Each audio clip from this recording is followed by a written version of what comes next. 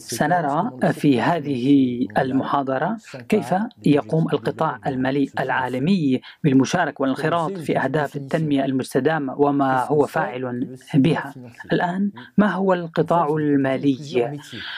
نحن في الواقع نقترح عدة مهن. هناك البنوك شركات التأمين أو ما نسميه بمدراء ومالكي الأصول أي الصناديق السيادية صناديق التقاعد أو شركات تأمين كمستثمرين لإحتياطاتهم.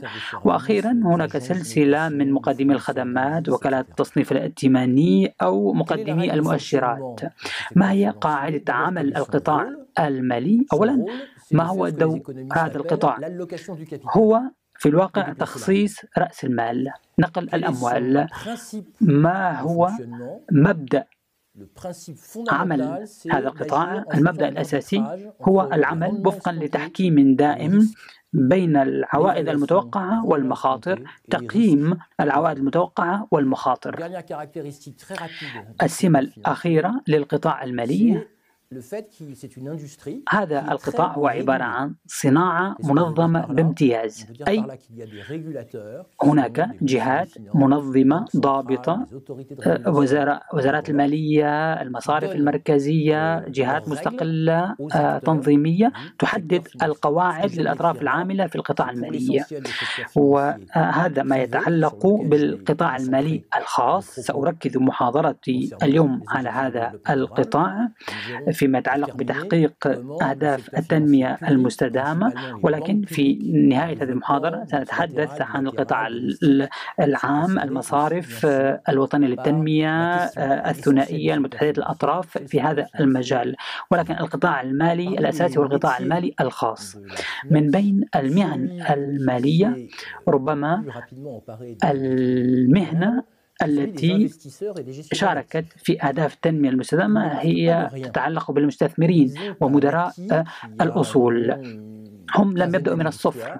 هم لديهم خبرة خلال 15 عاما فيما يتعلق بإطار ما نسميه بالاستثمار المسؤول اجتماعيا. أي أن نأخذ بعين الاعتبار البيانات المتعلقة بالبيئة بالمجتمع والحوكمة في إطار عملية اتخاذ قرار بشأن استثمار من الاستثمارات.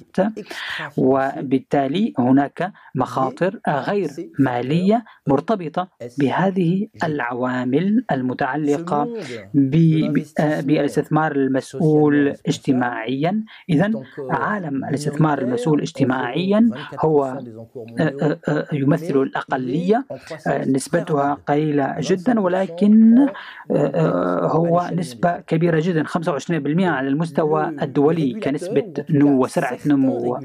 ولكن بعض الجهات الناظمة والضابطة ولا سيما في أوروبا تلعب دورا من أجل دفع كل عالم إدارة الأصول لإحترام هذه المعايير معايير غير المالية. وبالتالي وإذا كنا متفائلين نتمنى أن يتم تعميم ذلك على المستوى العالمي. هذا الأمر يتم بشكل خاص حاليا في أوروبا وعلى جزء من الولايات المتحدة الأمريكية. ولكن ما هو ضروري أن الاستثمار المسؤول اجتماعيا هو ليس قطاع واحد حاليا هو يتمتع بالأقلية ولكن نسبته مهمة هناك قسم قليل من المستثمرين في الأصول. لا لا يكتفون فقط بالابتعاد عن المخاطر ولكن يبحثون أيضا يبحثون عن معرفة أثر هذه الاستثمارات أو ما نسميه بالاستثمار المؤثر. وهذا يمثل أموال ما زالت ضئيلة ولكن تنمو بسرعة كبيرة. أي وهي تمثل 2% من الأصول العالمية ونسبة نمو ب 140% في عام 2016 أي إيجاد مؤشرات تسمح بقياس هذه التدفقات المالية التي من شأنها أن تحسن الوضع الاجتماعي لهذا المجتمع أو ذاك أو الوضع البيئي. أو النقل أو الانتقال في مجال الطاقة أي إيجاد مؤشرات موضوعية للقياس. هذه هؤلاء المستثمرون أو في مجال الأثر. هم متأثرون بالحركة العامة للمالية. وهنا أعيد وأركز على هذه الرؤية الشاملة. وهذه الرؤية ترى بأنه لا يمكن أن نبقى سلبيين في إطار تخصيص رؤوس الأموال. لا ينبغي فقط أن نكتفي بمتابعة حركة الاقتصاد الحقيقي ليس فقط لأن وذلك لأسباب تتعلق بالمسؤولية والأخلاق عليها من القيام بذلك ولكن هي إن لم تقم بذلك فهي تعرض نفسها للخطر. هذه المخاطر تم التعبير عنها من قبل بعض أبطال الاقتصاد الأخضر هو مارك كارني محافظ بنك إنجلترا.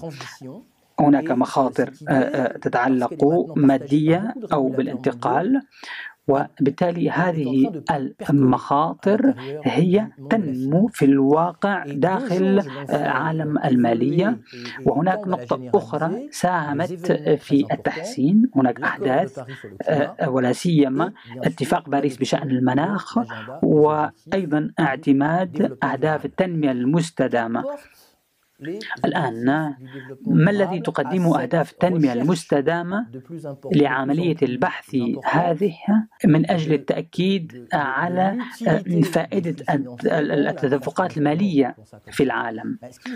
هذه الأهداف تعطي تعطي في الواقع شبكة عالمية للقراءة من أجل معرفة الأثر وهذا بالتالي يسهل عمل المستثمرين وهي تعطيهم شريحة من الأعمال التي يمكن القيام بها وهي تقوم أيضا بتحديد أثر هذه الاستثمارات مكافحة الفقر تقديم المياه البيئة التنوع الحيوي إلى آخره.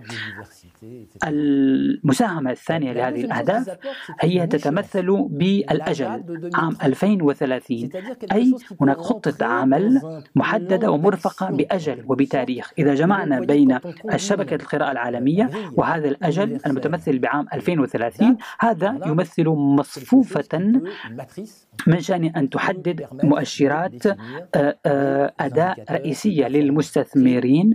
وهذا الأمر أصبح واقعا شيئا فشيئا فيما يتعلق بالمستثمرين وتحديد الأهداف. وقياس أثر هذه الاستثمارات وبعد ذلك تقديم التقارير. إلى الرؤساء بشأن هذه الأعمال. هناك خطران في هذه العملية. الخطر الأول يتعلق بالتنوع المفرط في النهج والأساليب المستخدمة. ومن جهة أخرى خطر التناقض بين أهداف التنمية المستدامة. وهذا الأمر يتعلق بالقطاع المالي. هذا موجود في كل القطاعات الاقتصادية وليس فقط في القطاع المالي.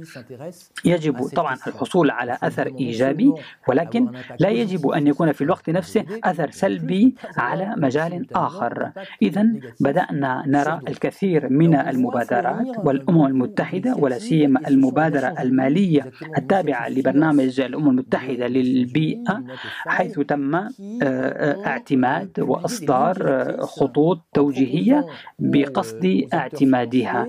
اليوم فإن مجموع رؤوس الأموال المتمثلة بالأصول في جميع أنحاء العالم وهؤلاء الذين وافقوا على مبادئ التنمية المستدامة للأمم المتحدة مجموع هذه الأموال هو يساوي حوالي 6600 مليار وبالتالي هذا مبلغ لا يستهان به وبالتالي فإن وفقا لهذا المبدأ فإن المستثمرون سيستمعون لتوصيات الأمم المتحدة أي ليس فقط قياس الأثر بصورة بصورة صحيحة ولكن أيضا قياس الأثر السلبي أي نشر كل الآثار السلبية ونشر تقارير بشأن الآثار السلبية. أيضا إذا هناك مبادرات في هذا المجال خارج الأمم المتحدة ولا سيما في أوروبا الشمالية ولا سيما المبادئ المشتركة التي تم نشرها من قبل المستثمرين الهولنديين والسويديين. وفي الحالتين صناديق تقاعد في هذان في هذين البلدين. الدولتين انكبوا على أهداف التنمية المستدامة ولا سيما في إطار شبكة القراءة ومن وقرروا العمل ومن أجل التبرير أمام زبائنهم فيما يتعلق بنجاعة أعمالهم الاستثمارية. الصعوبة الأولى كما ذكرت تتحدث بالتنوع المفرط في الأساليب والمناهج المستخدمة ولا سيما فيما يتعلق بالقياس. وهناك أيضا عوامل تسهل في الواقع وهي تلعب دورا ميسرا حيث أن العالم المالي الذي هو يبتكر بصورة دائمة نتائج مختلفة ولا سيما فيما يتعلق بإصدار السندات التي تركز على بعض الأهداف ولا سيما في إطار البيئة والتي نسميها بالسندات الخضراء. هي في الواقع سندات عادية حكومية عادية ولكن هي تركز على الغرض على غرض معين آه، بقصد تمويله ولكن هذا أيضا يتطور في المجال الاجتماعي أيضا. وبالتالي وحيث أنه عندما نقوم بإنتاج هكذا منتجات هذه المنتجات من شأنها أن تصبح أداة للاستثمار في استثمارات في استثمارات التقاعد وصناديق التقاعد وبالتالي فإن هذه المبالغ وهذه الاستثمارات يمكن تحديدها بصورة كبيرة في أهداف التنمية المستدامة ويكون عددها كبيرة سأعطي مثالا في هذا المجال كيف نتعامل مع أعمال الشركات المسجلة في الأسواق المالية. بطبيعة الحال آه، هذه الشركات لديها أصول كبيرة جدا. من النادر أن تقوم شركة مسجلة وأن تركز عملها آه، آه، ونشاطها على على هدف أو هدفين أو ثلاث أهداف من أهداف التنمية المستدامة. أي كيف العمل؟ طبعا بعض الشركات تقوم بذلك ولا سيما بعض الشركات. الشركات التي تحدد غاية آه، جوهرية بالنسبة لها. وهذا الأمر غير وارد بشكل كبير. وبالتالي هذه المسألة لم يتم التعامل معها إلى الآن بصورة واضحة. وهناك أيضا مسألة المسارات. أي لا ينبغي لنا أن نكتفي بقياس الأثر. وهذا صحيح في مجال المناخ والتنوع الحيوي أي الأثر الفوري للتدفقات الاستثمارية ولكن أيضا علينا أن نقيس الآثار المستقبلية أي تكييف التدفقات الاستثمارية مع الآثار التي يتم معاينتها. كل هذه الصعوبات هي صعوبات فنية تقنية ولكن وإن كانت هناك رغبة من الجهات الناظمة هذه الصعوبات سيتم تجاوزها. إن البنوك العامة المصارف العامة والعمومية متعددة الأطراف كالبنك الدولي والبنك الأوروبي للاستثمار وهناك أيضا البنوك الثنائية للتنمية كوكالة التنمية الفرنسية وهناك أيضا البنوك العامة الوطنية في فرنسا كصندوق الودائع. هي جزء من هذه المصارف والبنوك. هي حاليا تقوم بالانكباب والمشاركة في أهداف التنمية المستدامة. وهذه حركة طبيعية بالنسبة لهذه البنوك والمصارف. فهي تعمل من أجل المصلحة العامة المصلحة العامة على المستوى الوطني أو المصلحة العامة على المستوى الدولي. وبالتالي فإن أهداف التنمية المستدامة هي تعتبر برنامجا حتى أجل عام 2030 للعمل الدولي العمومي إذا جاز التعبير. وبالتالي حيث يتم إعداد سياسات عمومية. والبنوك العامة هي الأدوات لتنفيذ هذه السياسات. إذا هذه البنوك تنكب على هذه الأهداف أهداف التنمية المستدامة على غرار القطاع المالي وبالتالي هي عليها أيضا أن تقدم جدولا للقراءة وأجلا ولا سيما في بنوك التنمية والتي تعمل منذ فترة طويلة من أجل مكافحة الفقر وهو الهدف الأول للتنمية. آه، وهذه البنوك والمصارف خلال السنوات الماضية وحتى قبل عام 2015 أضافت عناصر أخرى ولا سيما المناخ وتم تعزيزها بشكل كبير جدا في إطار اتفاق باريس للمناخ. إن الصعوبة الأساسية في الواقع تتعلق بطبيعة احتياجات التمويل. تمويل أهداف التنمية المستدامة وهذا أمر ضروري من أجل عملية التعيير بين التمويل العام والتمويل الخاص. بعض الأهداف ولا سيما تلك المتعلقة بالصحة الهدف الثالث والمتعلق بالتربية. الهدف رقم أربعة. هذه الأهداف تحتاج إلى تمويل عام بشكل أساسي. أهداف المتعلقة بالزراعة رقم اثنين رقم 12 يمكن تمويلهما بشكل واسع. من قبل القطاع الخاص.